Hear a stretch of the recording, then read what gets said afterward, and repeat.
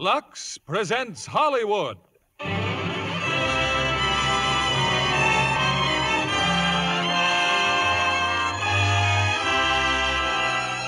Lever Brothers Company, the makers of Lux Flakes, bring you the Lux Radio Theater, starring John Wayne, Mel Ferrer, and Mala Powers in She Wore a Yellow Ribbon. Ladies and gentlemen, your producer, Mr. William Keighley.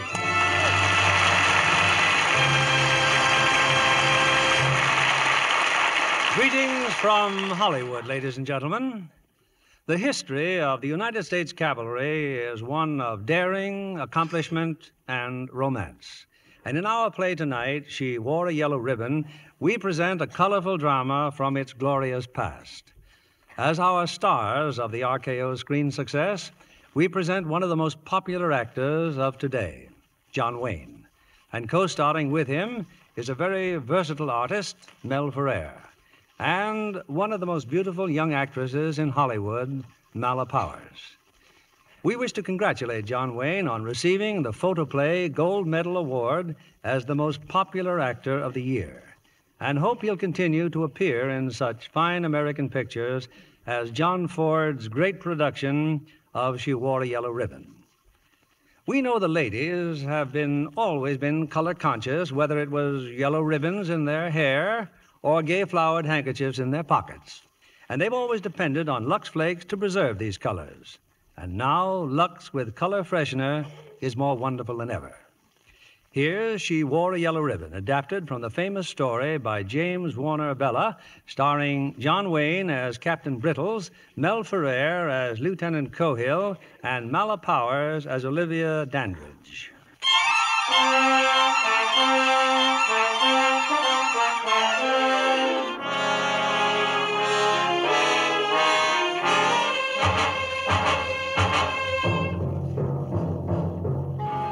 It is 1876. Custer is dead. Custer and over 200 men of the 7th Cavalry. It's more than just a victory for the Indians. It is a signal to unite. Kiowa, Comanche, Arapaho, Sioux, and Apache, united in common war against the United States Cavalry.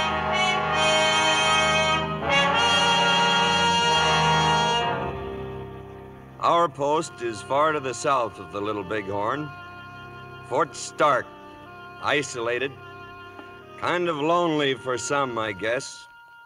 Anyway, this day started like a thousand others before it, with Sergeant Quincannon standing in the doorway of my cabin. Good morning, sir. 542, sir. 541. And a lovely morning it is, Captain Darlin. Coated in blazes. News? As follows, sir. Mrs. Jameson had her baby. The stagecoach run from here to Sudrow's Wells has been discontinued. And there's a dispatch rider in from the Desert Patrol. Well, Private Mackenzie got himself shot, sir. boy or a girl for Mrs. Jameson? a little trooper, sir. When does the stage stop running? Finish, sir. No more stagecoach, sir. Mackenzie, is he bad off? No, sir. A good man, Quincannon. He'll make corporal in five or six years. Yes, sir. Well, scratch another day off that calendar. Just six more days, Captain Darlin. Six more days and you're retired, sir. I am well aware of that, Quincannon. Uh, the Army will never be the same without you, sir. the Army is always the same. The sun and the moon change, but the Army has no seasons. But here you are in your prime, sir, and they're turning you out to pasture. That's a willful abuse of the taxpayers' money, sir. The only tax you ever worried about was on whiskey. I beg your pardon, sir. I guess you have a reason for busting in, Mr. Cohill. Sir, Sergeant Tyree's just entered the post. He's got half the Paradise River Patrol with him, sir, and the paymaster's coach. Keep talking, mister. Well, the paymaster's dead, sir. Gunshot wounds. Dead when Tyree found him, sir. Where? Near Red Beauty, said, sir. The money box is gone. Mm, Gunshot wound. Yes, sir. Though the coach is stuck full of arrows, too. Well, tell Sergeant Tyree to report at once to Major Allshard's quarters. Take over mooring inspection, Lieutenant. Yes, sir. And tell Tyree to bring one of those arrows with him. Now, let me look at that arrow again. Yeah.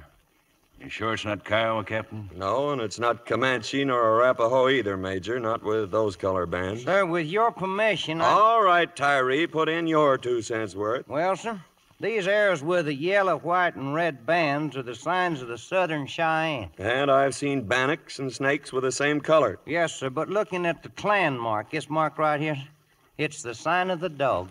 Then tell me what in blazes would Cheyenne be doing this far south? That ain't my department, sir. Alert the post, Sergeant. Yes, sir. And get some rest. Thank you, sir. Well, Nathan, any ideas? Mm, I'll go out in the morning, pick up the patrols, and drive those Cheyenne back where they belong. Well, let me think on it, Nathan. I'll let you know later.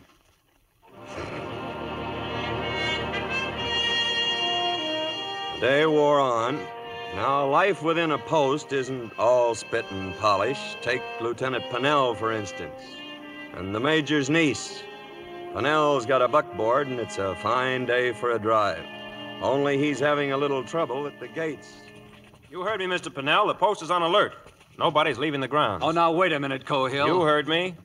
Sorry to spoil your outing, Miss Dandridge. Sorry indeed. Because I wouldn't trust you to take me on a picnic last Sunday. Now you're hazing Mr. Pennell. You just drive right on through, Ross. If you don't, I will. You touch those reins, and I'll slap you in the guardhouse. You wouldn't dare. Someone placing you under arrest, Miss Dandridge? It's Lieutenant Cohill, Captain. He suddenly decided that he can order me around. Sir, I was merely following I orders. believe you interrupted the lady, Mr. Cohill. He certainly did. Now, I don't want to make a scene, Captain. But First Lieutenant Cohill has made up his mind that Second Lieutenant Pennell hasn't rank enough to be seen in my company. Sir, if I now could just. Ex- you're interrupting. Uh, yes, sir. Any further complaint, Miss Dandridge? Complaint?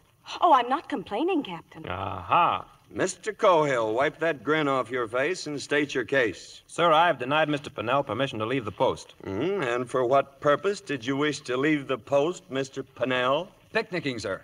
Picnicking? Miss Dandridge? Where? In St. Louis? Oh, no, sir. Just up by the waterfall, sir. But I'm sorry. Never if I- apologize, mister. It is a sign of weakness. Mr. Cohill, I see no reason why Mr. Pennell should not go picnicking. Very good, sir. Thank you, Captain. But Miss Dandridge, Mr. Cohill was quite right in denying you permission to leave under the present emergency. If you will be so kind as to get out of the buckboard. Oh, but really. Your arm, ma'am. Thank you. Mr. Pennell, you may proceed with your picnic. This way, Miss Dandridge. Pass Lieutenant Pennell. Yes, sir. Where'd you say you were holding your picnic? I'll tell you where. At Delmonico's in New York about two months from now. With Olivia, see? And I won't be wearing any blue suit either, bub. Get up! The major sent for me early that evening. He had made up his mind. I guess there's no other course to take, Nathan. Find those Cheyennes and push 'em back. Oh, uh, by the way, here's the last report on Custer's outfit. 212 men, Nathan. Headquarters expects a hard and bloody winter. Sitting Bull preaching a holy war. I want you to take every precaution. These names George Armstrong Custer, Tom Custer, Boston Custer, Calhoun, Cook. Yes, I expect you knew most of them. I expect I did. Harrington, Keogh, Miles Keogh. Yes, Mac. A hard and bloody winter. Oh, uh, Nathan, those flowers over there, Abby picked them. She thought maybe for Mary's grave. Oh, well, I was figuring to stop by there now and. Yes, I know. Never miss a day, do you? Oh, thank her for me, will you, Mac? They're real pretty flowers. It's nine years, Mac. Nine years last month.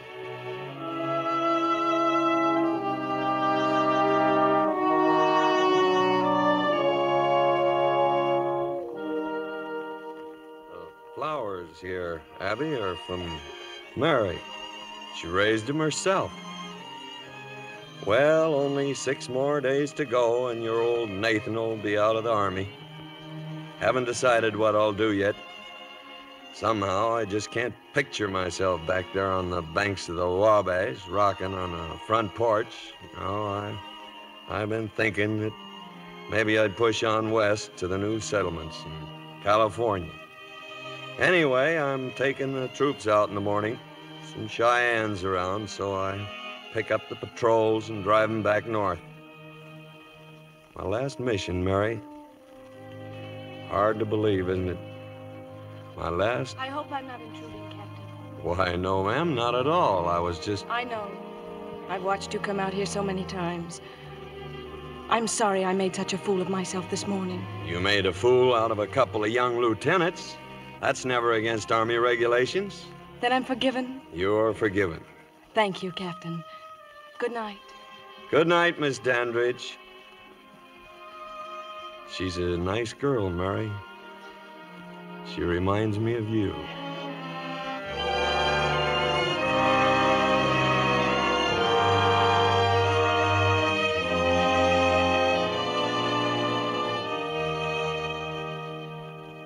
At dawn, the troop was mounted and ready to leave. Till Sergeant Quincannon came up driving a wagon. Just what do you think you're up to, Quincannon? Get out of that wagon. Oh, begging your pardon, Captain Darlin, it's orders. Major's orders. Orders? Yes, sir. Yes, sir. I'd, I'd best be seeing about them side saddles, too, sir. Side saddles? Are you trying to tell me? I'll be at Major Allshard's quarters. All right, all right, Eddie. Hold on, Nathan. Hold on. I know. I What know. in blazes does this mean? Side saddles, a covered wagon filled with women's junk.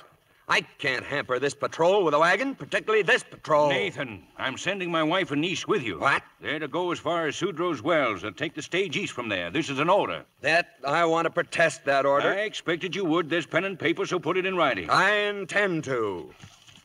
I sat up half the night with this, Nathan. I, I can't keep Olivia here. She ain't army. I'll say she ain't. For the following reasons. You want some coffee? No. Yes. One, there is a party of Cheyenne raiding this territory. I have a feeling that every woman will. How many R's are there in territory? Two. Oh. Here, here's your coffee. Poor Abby. She says everyone will think she's running away. And what about me? I'll be a bachelor all right. And in conclusion, I respectfully protest the decision of my commanding officer to saddle this troop with his female relations. Yeah, One L in relation. At this critical hour, signed Nathan Brittles, and so forth. It sounds very good, Nathan. I'll be glad to file it. Well, believe me, I I hate to hamstring you this way, but hmm. you will take every precaution. Of course he will, dear. And how did marching through Georgia take the idea of old Iron Pants riding with him? Under protest, Abby. Written protest, Abby, of course. It's always my pleasure to escort old Iron Pants. Well, as long as you're going along with us. Abby, that is the dad blamedest outfit I ever did see. Quincannon's old britches. A little baggy, I suppose, Nathan, but they'll do for the trail. Now, where's Olivia? Is she ready? She's been ready for an hour. She's probably outside with one of your lieutenants. Well, kiss the old man of yours and say goodbye. Time we get out of here. And I hope you approve of my uniform, Mr. Cohill. It's very becoming, ma'am. And I notice you're wearing a yellow ribbon. Well, For uh, Pennell, huh? how do you know it isn't for you, mister? I'd be very happy if it were for me. Very happy indeed. Morning. Trooper Dandridge reporting, sir. Well, and a proper trooper, too, and right pretty, don't you think, Mr. Cohill? I do indeed, sir. And a yellow ribbon, Miss Dandridge. Do you know what that means in the cavalry? A sweetheart. It does? Who's it for? Why, for you, Captain, of course. For me, huh? Ha. I'll make these young bucks jealous yet. I brought your mount, Olivia. May I help you? Thank you, Mr. Pennell. I, uh, I hope you're wearing that yellow ribbon for me, ma'am. Why, who else would it be for? Hurry up, Aunt Abby. They'll be leaving without us.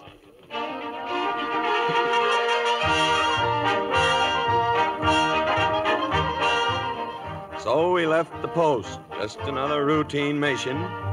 Folks waving goodbye, kids yelling, dogs barking. Only one thing in particular caught my eye. As we rode past the store, I saw Mr. Reinders, the sutler, in the back of the stable. He was hitching up his buckboard. Some hours later on the trail.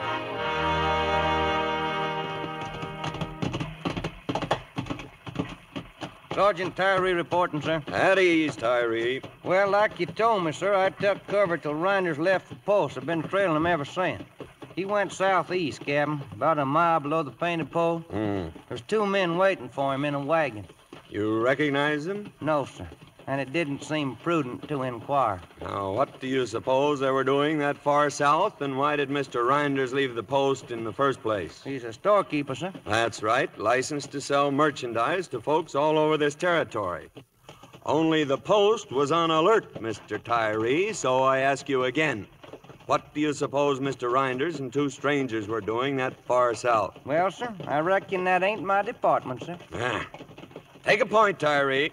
We'll probably pick 'em up on the next go around.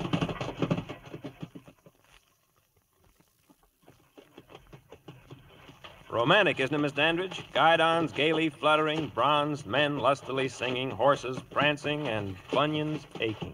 Must you always be so vulgar, Mr. Cohill? The cavalry doesn't go in for refinements, Miss Dandridge. Cavalry. This ridiculous business of dismounting and walking every hour or so. You might as well be in the infantry. We soon would be if we didn't ease these mounts. Why don't you ride in the wagon with Mrs. Allshard? No, thank you.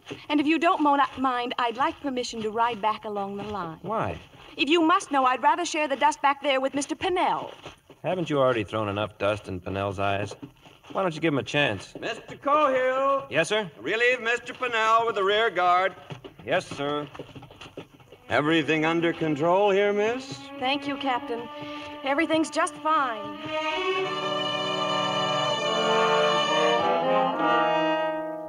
An hour later, Tyree found something he wanted me to see. I told Cohill, Pennell, and the bugler to tag along. Far off against the hills, a long, low cloud of dust was rising. Traveling the same direction we are, sir, toward Sudrow's well. Uh, can you make 'em out, Sergeant? Looks like Arapaho, sir. Field glasses, Mr. Pennell. Yes, sir. They're moving the whole village, wagons, lodgings, and all. Mm, yeah, Tyree, I don't know where you got your brains, but God must have given you that pair of eyes. They're Arapahoes, all right, heading the same way we are. Now, why would they be moving on Sudrow's Wells? My mother didn't raise no sons to be making guesses in front of a Yankee captain, sir. Hmm. well, I'd soon find out if. Uh, there's no use even thinking about it. We can't risk it with these women. Arapahoes. Yes, Mr. Cohill, and I don't like it. So we'll turn east, gentlemen. Give 'em a wide berth. But we'll lose half a day that way, sir. The ladies may miss the stage, sir. Would you rather that they missed their scalp, sir? Get back to the column, both of you. Yes, sir. Yes, sir. I'm sorry, sir. Oh, shut up. By late afternoon, we reached the canyon country. With any luck, we'd be at Sudrow's Wells by morning. Thought you didn't like the wagon, Miss Dandridge. You don't have to shout, Mr. Cohill. My aunt's trying to take a nap. Well, I've only got one thing to say to you. Why don't you take your hooks out of Ross Pennell? He's got the makings of a good officer. You are not his guardian nor mine, Mr. Cohill. Well, I'm telling you just the same. Ross is a spoiled rich kid, and the Army's his only chance. So if you can't take the Army, leave him alone. Just before dusk, we reached the rim of a valley. And down below was a sight that I likes of which I hadn't seen in years. Why, why, they're buffalo, sir. I admire your intelligence, Mr. Cohill. First time the herd's been this far south since the uh, summer of 68. That right, Quincannon? Correct, sir. Ah, it looks just like the good old days, sir. Buffalo meat and whiskey 50 cents a gallon, sir. You ever see a buffalo, Mr. Pennell? No, sir. Well, I doubt if the ladies have either. You may escort them as far as those rocks. The view might please them. Thank you, sir. And what you're thinking, Mr. Tyree? And don't tell me it ain't in your department. Well, Captain, if I was a young hot blood like Red Shirt anxious to show off before them Cheyenne dog soldiers, I'd be walking in front of one of them council fires tonight telling them that I was the one that made the medicine that brought back a buffalo. Hmm. I'd tell them how all us Injuns should stick together now, quit quarreling, and drive out the rest of them Yankee soldiers. That's what I'd tell them, Captain. Though, of course, I'm just guessing, you understand? Mm, yeah, well, of course, now I'm just guessing too, Sergeant, but if I was an Indian agent, maybe a licensed sutler with the name of Reinders, if I'd met up with a couple of men near Painted Post who might be gun runners, I'm guessing I'd be mighty close to that council fire of red shirts, ready to do a land office business in repeating rifles. How good's that mount of yours, Tyree? Best in the troop, sir. Uh, make for the Paradise River. Pick up the rest of the patrol there, then proceed at your best pace to Sudrow's Wells.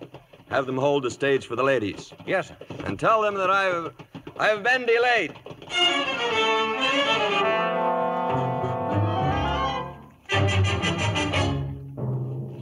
If we kept moving all night, we'd reach Sudrow Wells by dawn. But just before daylight, we saw a strange glare in the horizon. That's no sunrise, Captain. That's a fire. It's the settlement, sir. Sudrow's Wells is over there. Shut up, the lot of you. Ladies to the rear, Quincannon. Yes, sir. First two sets of fours. Forward, you!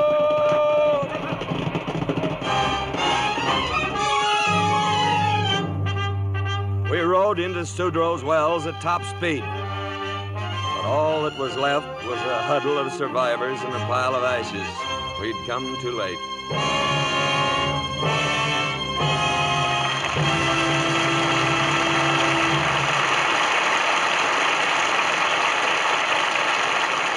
In just a moment, our stars will continue with Act Two of She Wore a Yellow Ribbon.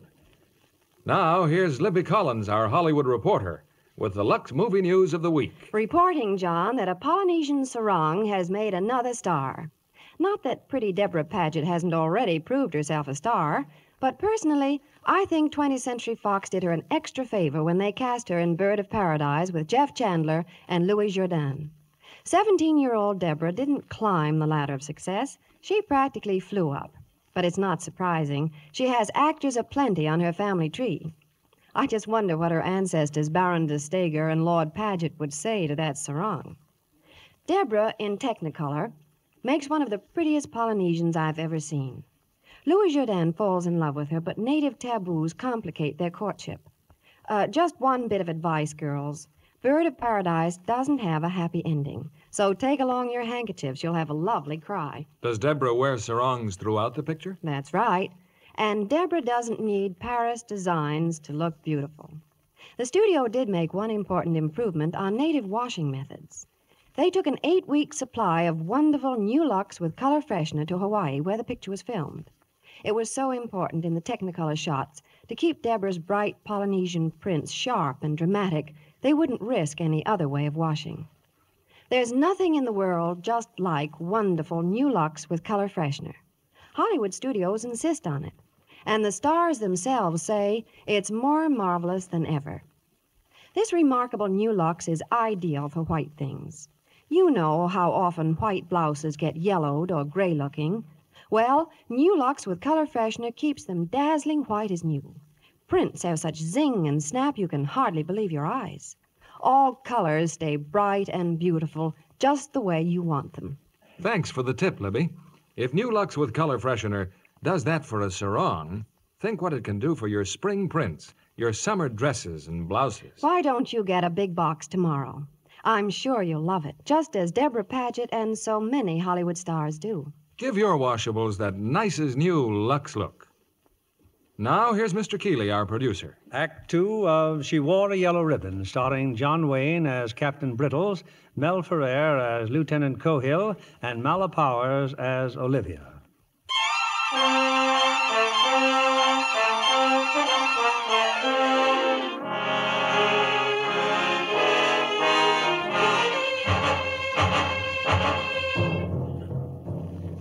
the survivors at Sudrow's Wells were seven men from the Paradise River Patrol under Corporal Quain. Quain had been badly wounded. Arapaho, sir, they, they jumped us at sundown yesterday, sir. Yes, well, your report can wait, Quayne. Doctor, over here. I, I, I better give it to you while I can, sir. They, they had us ringed. At night we got away. We, we made it to the relief point, sir, but you weren't there. Just Sergeant Tyree Uh, alone. I sir. wanted to be there, Corporal. We got here before midnight, and then they, they closed in. Thank you. A good, clear report, Corporal.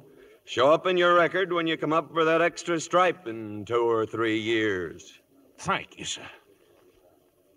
Who are they, Tyree? Cheyenne dog party. About 30 Arapahoes with them. They banded up under Red Shirt. Hmm. Well, that blows the lid, doesn't it? How many dead here? Five, sir. Ma and Pa Sudrow, one other woman, two men. Children see it? No, sir. Found them hiding in the smokehouse. Tyree, I think it's about time I did retire. Sir, um, one of the dead is Trooper Smith. Smith? Wasn't for him, sir, there'd a lot more of us been gone. Smith? I uh, served under him for more than a year, sir. Wilderness campaign. Oh, yes, I know. Mr. Cohill. Sir? Where are the women? They've rounded up the children, sir, getting them quieted down, sir. Assign a burial party, Mr. Cohill. Then I'll want this column moving again within an hour. There's a storm coming up.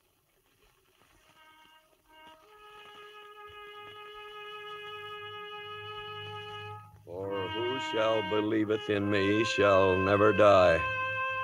I commend to your keeping, sir, the souls of John Sudrow and his wife Martha, Albert Bridges and his wife Annie, and also the soul of Rome Clay, late Brigadier General, Confederate States Army, known to his comrades here as Trooper John Smith, United States Cavalry, a gallant soldier and a Christian gentleman. Amen. We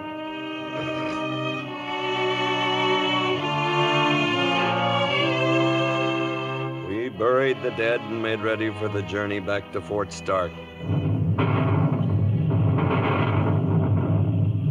Captain Brittles. You will go to the rear, Miss Dandridge, where you belong. Yes, sir, I'll go.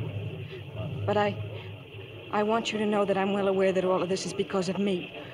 Because I wanted to see the West. Because I wasn't army enough to stay the winter. You're not quite army yet, miss, or you'd know never to apologize. It's a sign of weakness. As for what's happened, only the man who commands can be blamed. Press on me. Mission failure. Yeah, we sure missed the stage, Miss Dandridge.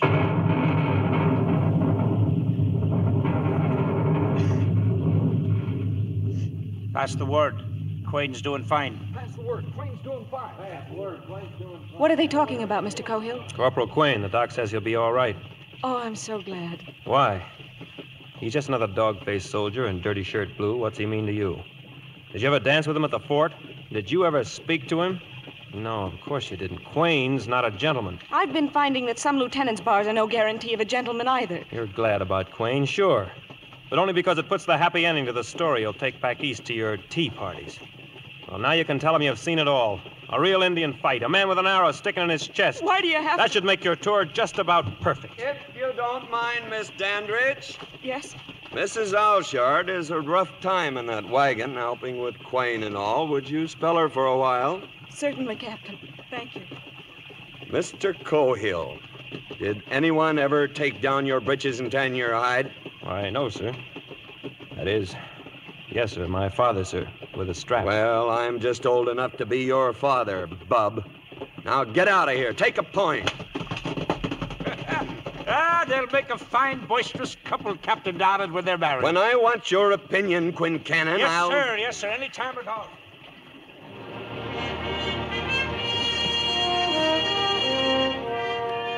Rain let up that afternoon, and at dusk I called a halt. We'd stop a while and rest. We needed it. All of us. I wouldn't go any further if I were you. Captain Brittle said we'd be here for two hours. I didn't hear him say anything about taking a walk. There's probably a hundred hostiles out there. You think that's a whippoorwill? Come on, Olivia, let's go back. I can walk alone, thank you. Olivia, please. The old man says don't ever apologize. It's a sign of weakness. But I'm sorry for everything I've said and done. Oh, honey, you know how I feel about you. Flint. Flint, if you'd only. All right, Cohill. Let's get her over with. Pull your blouse. You crazy, mister? Don't pull rank on me. You've been green eyed ever since she put that yellow ribbon on. Button up that shirt, mister. Ross, please. You can sneer all you want, but you keep your paws off my girl. All right, mister. I'll accommodate you. Ross, no, no! Button your shirt, Mr. Pennell. I thought better of you. Four years out here and still acting like a wet-eared cadet on the Hudson. What is this all about, Mr. Cohill? Sir, I must decline to answer, respectfully. Mr. Cohill, it is a bitter thing indeed to learn that an officer who has had nine years' experience in the cavalry, the officer to whom I am surrendering command of this troop in two more days, should have so little grasp of leadership as to allow himself to be chivied into a go at fisticuffs while taps have barely sounded over a brave man's grave. God help this troop when I'm gone. Sir, it was my fault. You're at attention, Mr. Pennell. It was a misunderstanding. You'll Captain. oblige Miss Dandridge by getting back to troop area. Yes, sir. Mr. Cohill, you will have the men build their squad fires higher. make the fullest show of bedding down here for the night. Then we're sneaking out, heading for the river. Is that clear, Mr. Cohill? Yes, sir. I'm sorry, Ross. Sorry, Flint.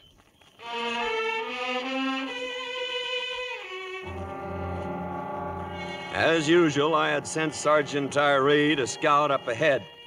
And as usual, his eyesight hadn't failed him. Hostile, sir. They're holed up in a ravine about three miles north of here. Only that ain't all. Well? They got visitors. Our old friend Rinders. Right smart of trading going on right now. Repeating rifles. Mr. Rinders, huh? Well, pass the word to Mr. Pennell. The three of us are going up to that ravine. The darkness helped us. We got to within maybe a hundred yards of the Indian encampment. They'd built a big council fire. There was Rinders and his friends bargaining with Redshirt over the rifles and the wagon. Well, what's the argument now? Same thing, Rinders. Redshirt keeps saying that $50 apiece is too much. Too much, huh? Tell that grandson of a horse thief that I know he's got the money. Because he stole it from the paymaster's coat. Yo, uh, Shiva, you do what to? Tell him I know he killed him, too. That it's $50 or no rifle. We saw Redshirt raise his hand, then a flash of knives. They dragged the white men, still living, and threw them on the fire. Join me in a chaw of tobacco, Sergeant? No, sir. I don't chaw and I don't play cards. Chawing tobacco is a nasty habit. It's been known to turn a man's stomach. Mr. Pennell? I. I'll take a chaw if you please, sir. Here. Now let's go. You still figuring on resigning, Mr. Pennell? No, sir.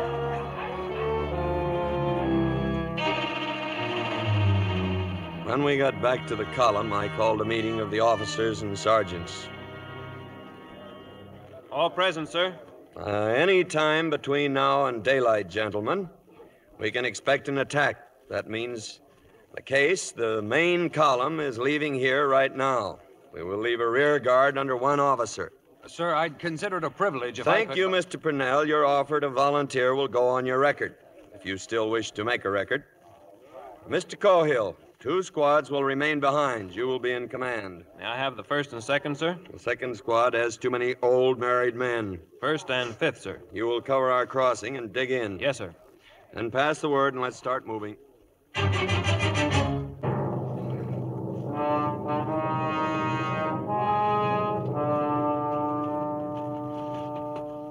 Lieutenant Pennell reporting, sir. The main column is safely across the river, all but you and Miss Dandridge, sir. Stand by. Mr. Cohill, as you know, this is the only crossing within 20 miles. So you've got to buy me some time. You've got to buy me a long day. Then we'll do it, sir. I know you will, Flint. Flint. Took you nine years to call me that, sir. And it was well worth waiting for. Well, we'll get you out of here, son. Just hang on. We'll get you out of this pocket by noon tomorrow. Mount your horse, Miss Dandridge. Flint, Flint, wait! Well, haul off and kiss her, blast you. We haven't got all night. Yes, sir. Thank you, sir. I'll be back, man. I'll be back, I promise you. Oh, what are you waiting for, Mr. Pennell? Escort the lady across the river. If you'll follow me. Ross. I'm sorry, Ross. But I guess that's how it is. You and Flint. Yeah, sure. Good luck, Flint.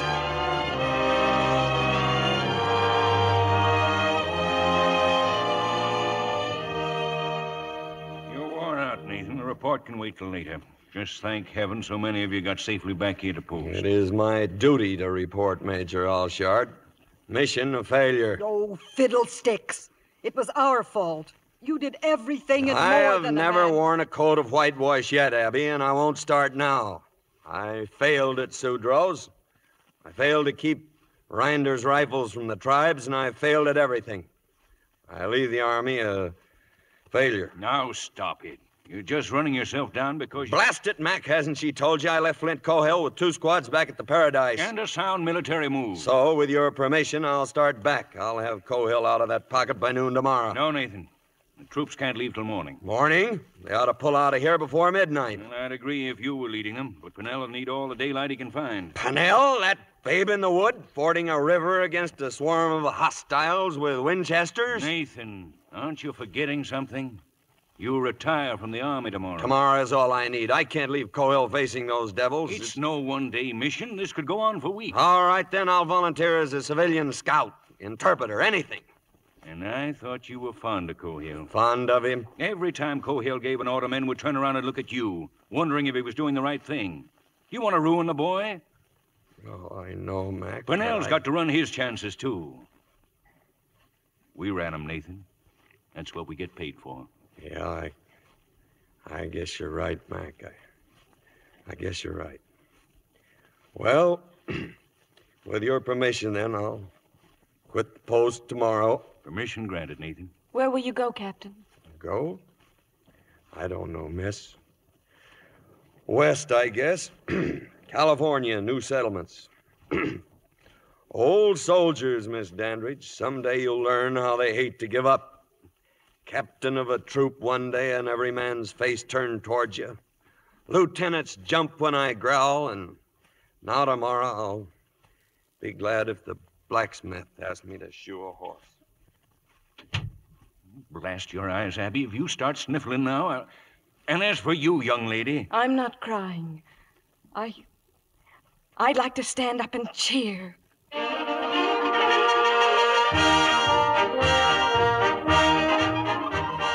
At dawn the next morning, I reviewed the troops. My last review. They, they had a present for me. Watch and chain, solid silver, brought in special. St. Louis. It's, uh, it's engraved on the back, sir. Captain Brittles from C Troop, lest we forget. Lest we forget. We had hoped to hold a dance in your honor, sir, but under the circumstances. Oh, circumstances. thank you. Thank you. Thank you all. You will do me one last favor, Mr. Pennell. Take your troop and proceed on your mission. Yes, sir.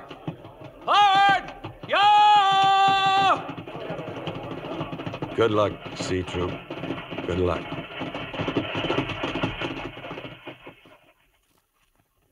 stop worrying, Nathan. They'll get Cohill out of there. But that's not enough, visit Mac. Within a week, those hostiles will be here on your doorstep. Then what? Oh, we'll take care of them. Yeah, well, I'll say goodbye. Oh, I left my other saddle in the cabin. Give it to Abby. Uh, it'll be easier on her uh, disposition. Say goodbye to her for me, Mac. He'll do no such thing, Nathan Brittles.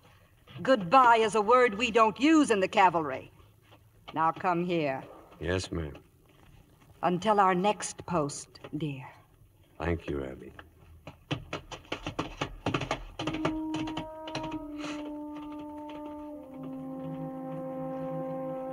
Once out of sight of the post, I swung east toward the Paradise River. I had a plan.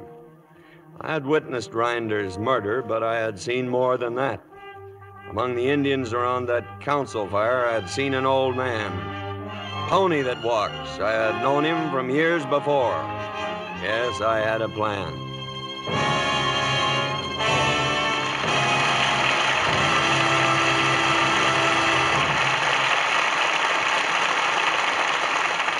Now, a brief intermission before our stars return with Act Three of She Wore a Yellow Ribbon.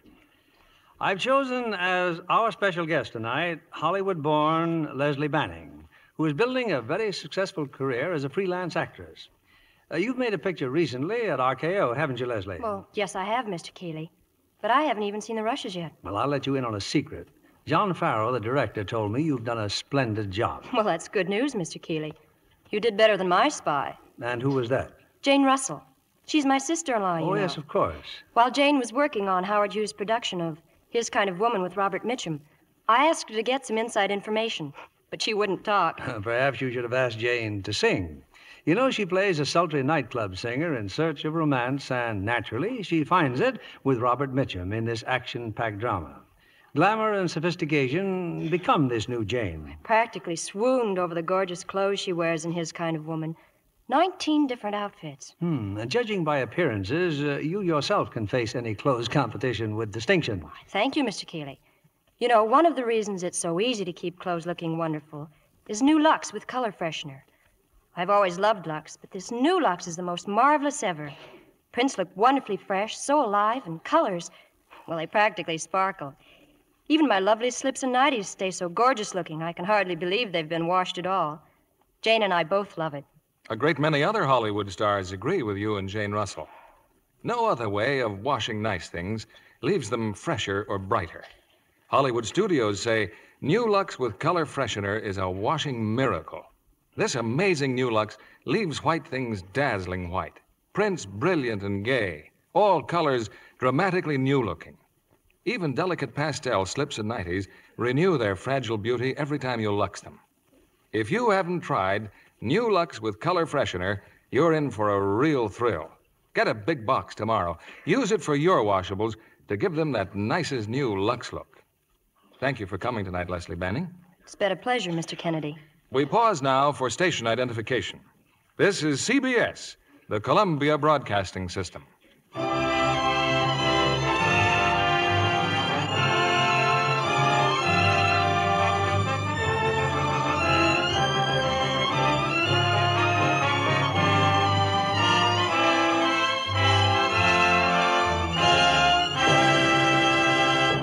Curtain rises on Act Three of She Wore a Yellow Ribbon, starring John Wayne as Captain Brittles, Mel Ferrer as Lieutenant Cohill, and Mala Powers as Olivia.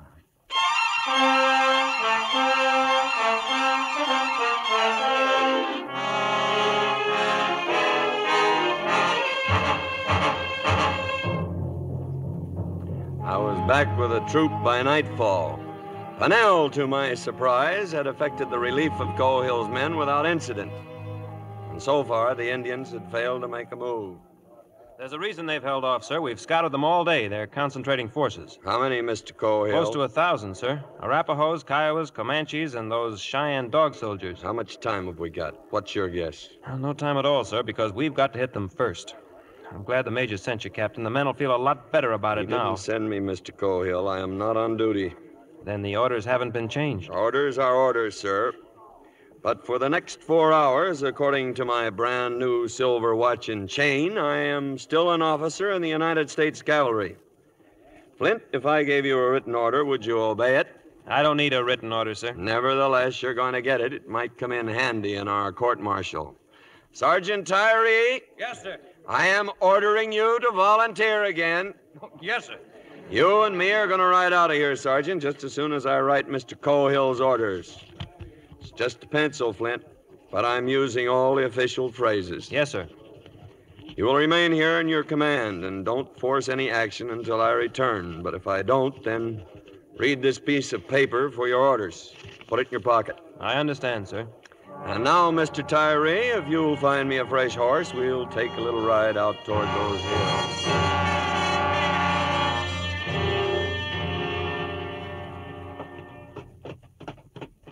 Not that it's any of my business, sir, but may I ask where we're going? That's a foolish question, Sergeant. You know as well as I do. Yes, sir. To the Indian encampment. You aiming to powwow with Red Shirt, Captain? I am not that crazy. No, sir. But there is a chief who might listen to us. Pony that walks. Ever hear of him? Yes, sir, but he's an old man. That makes two of us who've seen enough of war. Yes, sir. In case you don't know it, sir, that ain't a bird. Walk your horse, Sergeant. Hold up your right hand. It's a peace signal. Let's hope they'll see it. They're just over that ridge, Captain. Yeah. Ever been scared, Mr. Tyree? Yes, sir. Up to and including right now.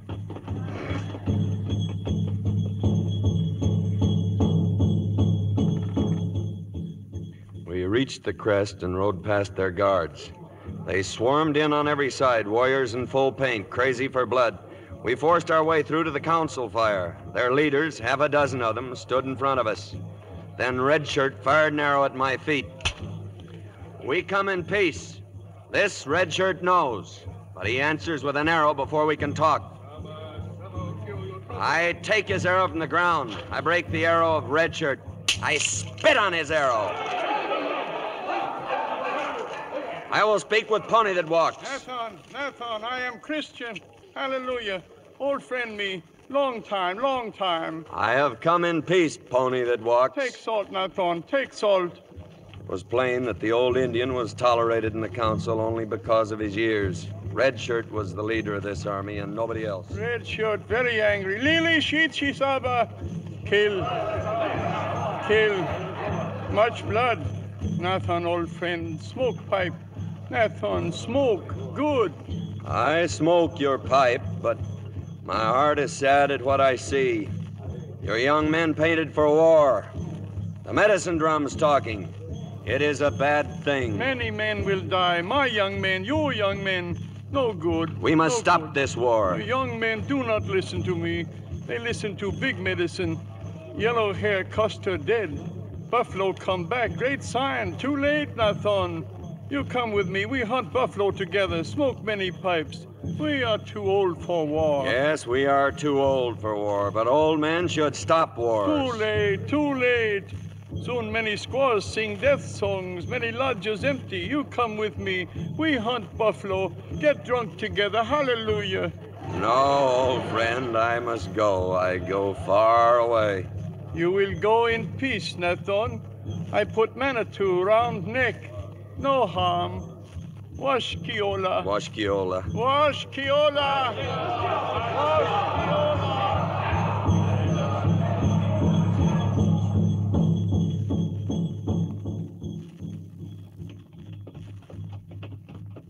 It appears they're turning us loose, Captain.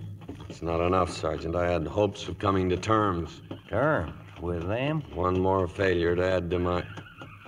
There's something wrong? No, nothing wrong. Just glanced to your left there. Kind of casual like, Sergeant. Yes, sir. Well, The ponies, hundreds of them. hundreds of ponies in a gully where they can't wander off. But if something was to stampede those ponies. Stampede? Yes, sir. Back to camp, Mr. Tyree. On the double.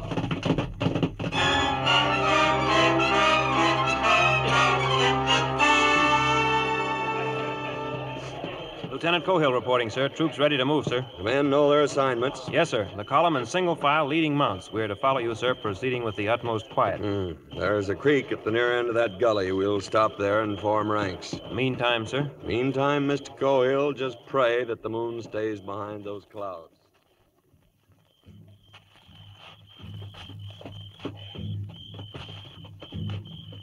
Troop, halt. Pass the word. Halt and pass the word. Mr. Cohill, can you read the time by my brand new silver watch and chain? Uh, yes, sir. Twelve minutes to midnight, sir. The gully lies straight ahead of us. On signal, we'll gallop through that draw and stampede the herd out the other end into their encampment. Questions, Mr. Cohill? No questions, sir. Mount and pass the word. Mount and pass the word. Mount and pass the word. Bugler, Sir? a count of three and sound the charge.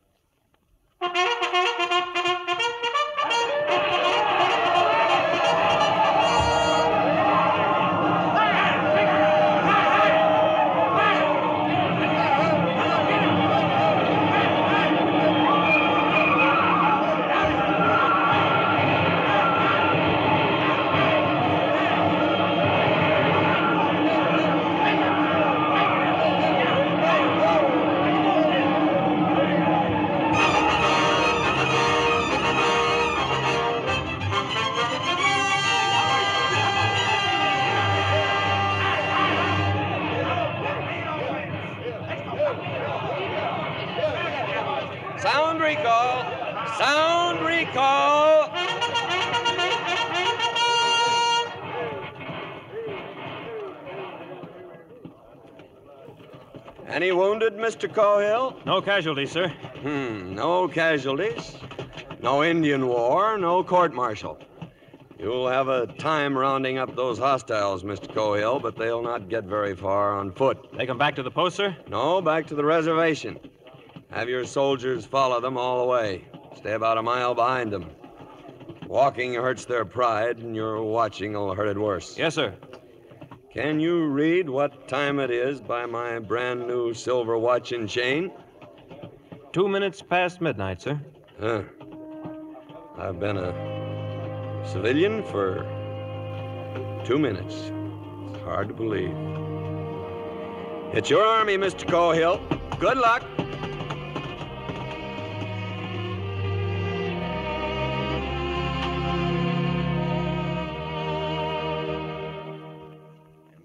Brittles just, um, just said goodbye and rode away. Is that it, Mr. Cohill? Yes, Major. We got the hostiles on the trail, sir. Then I left Lieutenant Pennell in charge and returned here to report, sir. So Nathan's finished with the Army, is he? Well, the Army isn't finished with him. Who's your best rider, Mr. Cohill? Why, Sergeant Tyree, sir. Then tell Sergeant Tyree I want to see him right away.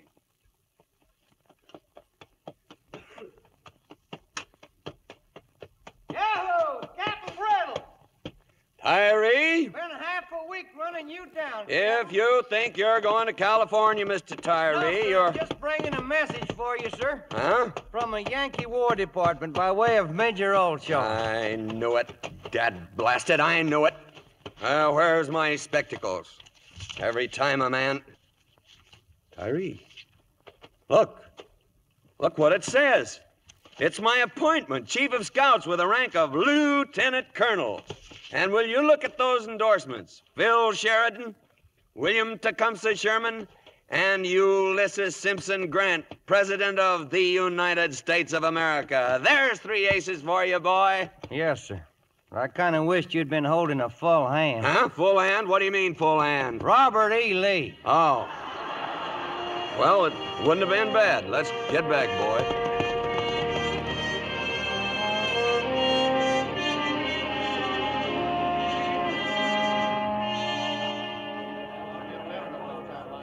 Here is, Major, sir. He's coming up the steps now. Open the door, Quincannon. Yes, sir.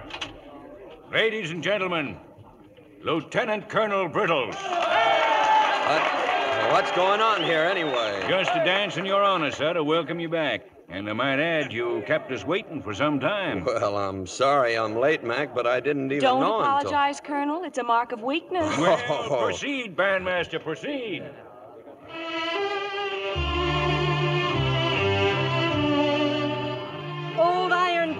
Has a request to make.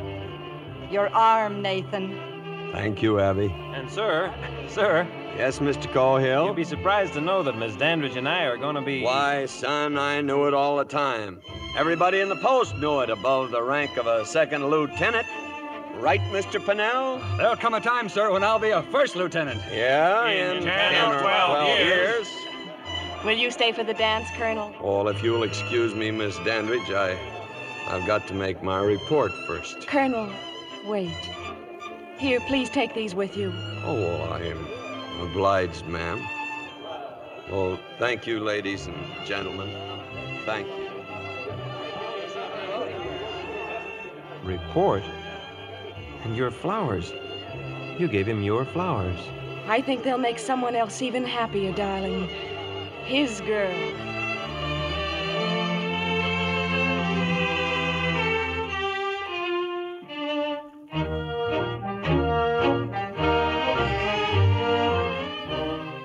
So ends the story of Captain Brittles and the troops he led.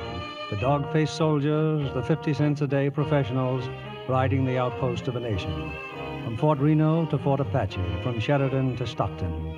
Men in dirty shirt blue and only a cold page in the history books to mark their passing. But wherever they rode and whatever they fought for, that place became the United States.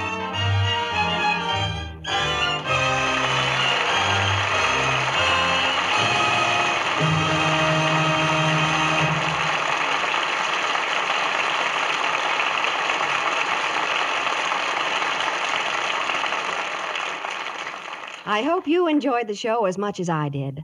Now I know you'll want to meet our stars personally, so in just a moment, Mr. Keighley will be back with them for a brief chat and to tell you about next week's show. But first, I'd like to give you my own experience with this wonderful new Lux with color freshener. I was so excited myself the first time I tried it, I could hardly believe my eyes. You know, here in Hollywood, we see so many wonderful things that when the stars themselves say it's the most marvelous thing that ever happened to their favorite Lux, you can be sure it's really sensational. I call it a beauty bath for colors. Take my white blouses. They stay whitest white time after time. And my prints, they look so vivid and alive after a Lux bath, I think I must be dreaming. Just for fun, I've tried new Lux for practically all the colors in the rainbow, and they just sparkle like new every time. Won't you try it? I'm sure you'll love it just as much as I do. Do me a favor, won't you? You'll be doing yourself one.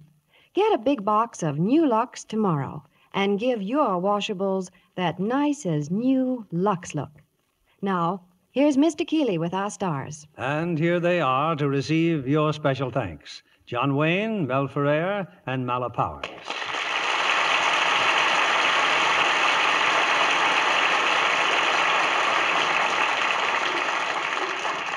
John, we usually advise the young actresses appearing here to use Lux to help their careers. Now, for the young actors, we'll take a tip from you and suggest football. Well, it is true that I went from football to making pictures, but my wife has always used Lux Flakes, and there you have the complete story of my life. Well, John, I'm also an ardent fan of Lux Flakes, but I hope that isn't the complete story of my life. well, honey, you've got a long way to go, and I'd say you're off to a flying start. And that comes from a man who knows. John, I think you're one actor who can truly say that the secret of your success is hard work. Well, that's for sure. I understand that at one time there were nine different John Wayne pictures playing simultaneously in local theaters. Well, I like to be active, Mel, and I try to see that all the pictures are filled with the same. For instance, at RKO, I just finished the Edmund Grainger production of The Flying Leathernecks. You can guess what that's all about. We're soon leaving for Ireland to do a film with John Ford.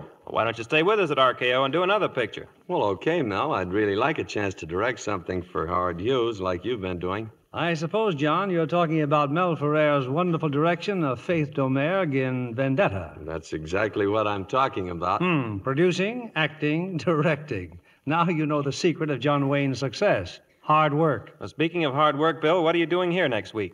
Mel, we've really selected an exceptional cast for next week's play, and we'll present them in Metro Goldwyn Mayer's electrifying drama, The Red Danube. And from the original cast, we have three great stars Walter Pidgeon, Peter Lawford, Janet Leigh. You won't want to miss this gripping story combined with a tender romance. It sounds wonderful. Good night. Good night. Good night, and all our thanks.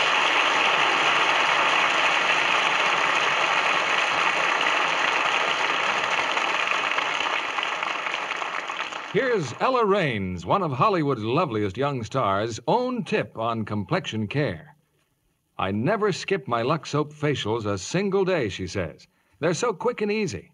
I just cream the rich Lux lather well into my skin. Rinse with warm water, then a quick splash of stimulating cold. I pat to dry with a soft towel. Now my skin feels so satin smooth and soft. Try this simple care Ella Raines recommends. It's so easy to be Lux Lovely. Lux soap has active lather, you know, that really makes skin lovelier. That's why nine out of ten screen stars use fragrant white Lux toilet soap regularly. Lever Brothers Company, the makers of Lux Flakes, join me in inviting you to be with us again next Monday evening when the Lux Radio Theater presents The Red Danube, starring Walter Pidgeon, Peter Lawford, and Janet Leigh. This is William Keighley saying good night to you from Hollywood.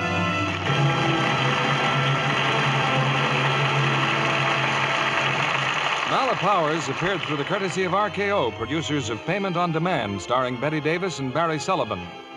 Heard in our cast tonight were Barton Yarborough as Tyree, Bill Johnstone as the Major, George Neise as Pennell, and Wally Maher as Quincannon. And Sandra Rogers, Norman Field, Dan Riss, Paul Dubov, and Eddie Marr. Our play was adapted by S.H. Barnett. The original story was by James Warner Bellah. Our music was directed by Rudy Schrager. This is your announcer, John Milton Kennedy, reminding you to join us again next Monday night to hear Walter Pidgeon, Peter Lawford, and Janet Leigh in The Red Danube. Stay tuned for My Friend Irma, which follows over these same stations. This is CBS, the Columbia Broadcasting System.